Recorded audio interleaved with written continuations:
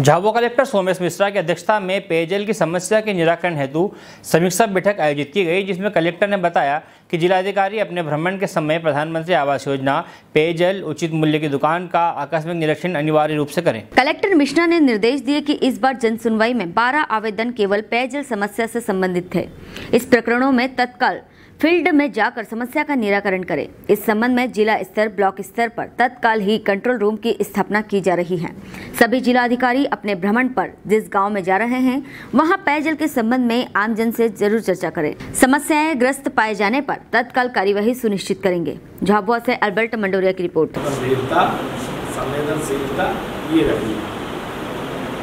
ठीक है? तो सिंह साहब अपना बताना शुरू करो। सर शहरी क्षेत्रों में वार्ड एक से शुरू करो। वार्ड एक में कोई दिक्कत? वार्ड एक का नहीं है सर तालाब से लगा हुआ एरिया है राजवाड़ा से एक वाटर उसमें। वार्ड एक में क्या? कितने हैंडपम्प हैं और एक दस उसमें सोलह बता रहा था पंद्रह चालू है पक्का चालू है बनता है वहाँ तालाब के सोर्स है। और यहाँ पानी कैसे ले जा रहे हो? और यहाँ पर टेप कनेक्शन पूरा एरिया मिलते एक दिन छोड़ के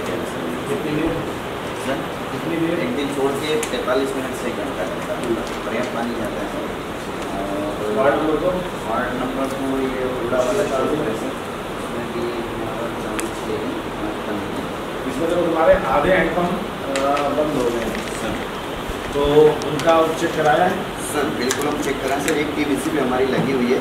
जहाँ तक तकनीकी खराबी है उसको तो हम तत्काल करा रहे हैं। गहरा कराना हो या राइजर पाइप डालना हो तो देख हम वो हम लोग हैं। पाइप डलवाने का करा रहे और तकनीकी और कोई खराबी तो करा। हाँ हाँ, तीन। उसका लेवल नीचे हो गया।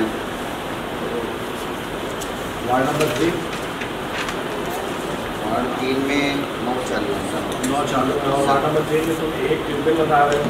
सर चालू। चालू है सर।